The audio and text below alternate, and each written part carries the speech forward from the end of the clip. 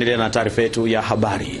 Hospitali ya Amana jijini Dar es Salaam imeingia katika mgogoro baada ya madaktari wake wawili na muuguzi mmoja kudaiwa kusababisha kifo cha Nasor Hamis, mkazi wa Mongo la Ndege, ambaye ni dereva wa bodaboda aliyepigwa risasi mguuni na majambazi, ambapo imedaiwa hakupatiwa matibabu uh, kwa usahihi.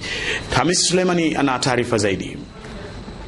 Tukio hilo limetokea Ijumaa iliyopita saa nne usiku eneo la Mongo la Ndege Ukonga, ambapo inadaiwa majambazi walimpiga risasi ya mguu dereva huyo wa bodaboda na kumpora pikipiki, ambapo vijana wawili walimchukua na kumpeleka katika hospitali ya Amana baada ya kutoka kituo cha polisi cha Stakishari, lakini vijana hao hawakupata mapokezi mazuri baada ya kutakiwa kulipa elfu ishirini ili majeruhi apatiwe matibabu.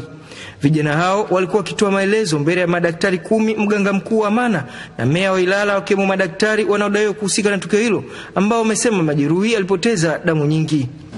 Wakati tunaingia, huyu akawa ameenda kuchukua kadi, mimi nikawa nimeenda kupaki pikipiki, na hivyorudi kupaki pikipiki, huyu akanambia aje, kadi nimenyimwa. Kwa sababu gani? akanambia anahitaji hela. Nikamwambia ah, sasa si Pepsi tunayo na hiyo hela si itakuja baada akishatibiwa na wenzetu wanakuja. Mimi nikaa sijaamini, nikaingia ndani nikamkuta huyo bro. Kwa nini huduma ikutoka mapema mpaka waende tena Ukonga kuleta pesa?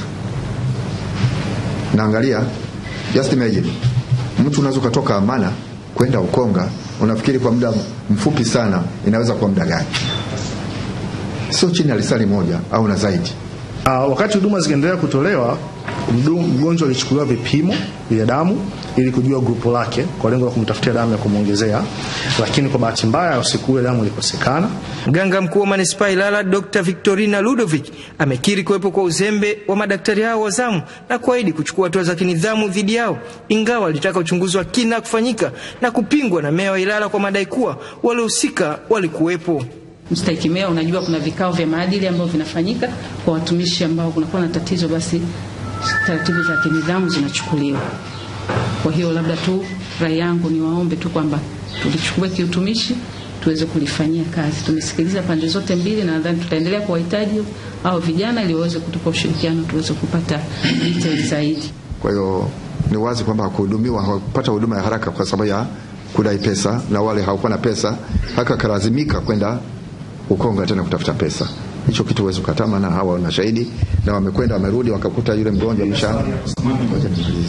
Nje ya manispaa ya Ilala Anatogro, vijana zaidi ya 150 wa bodaboda kutoka Ukonga walikusanyika kujua hatima ya kifo cha kizembe kilichofanywa na madaktari hao na kutaka hatua kali zichukuliwe dhidi ya wahusika.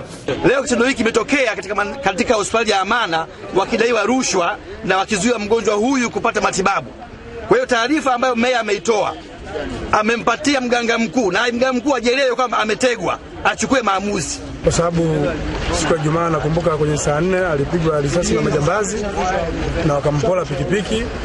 Kwa bahati nzuri sisi bodaboda tukambeba mwenzetu, tumemleta hospitali ya Amana.